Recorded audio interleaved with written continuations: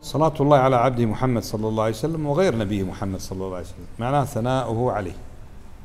يثني عليه. طيب نحن إذا صلينا على الرسول صلى الله عليه وسلم لا نثني عليه. يعني نقول اللهم صل على محمد. يعني نسأل الله أن يثني على نبيه محمد. انتبهتم؟ نسأل الله أن يثني على نبي محمد.